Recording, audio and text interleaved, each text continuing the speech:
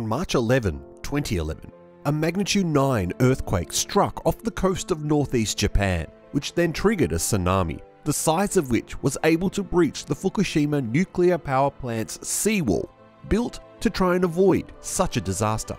The effect of the tsunami resulted in the failure of the emergency generators, meaning the plant lost power to the cooling pumps. Without cooling, the reactor cores overheated and subsequently exploded. This movie focuses on the human drama aspect of the disaster.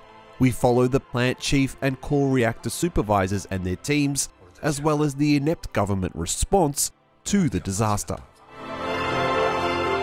福島50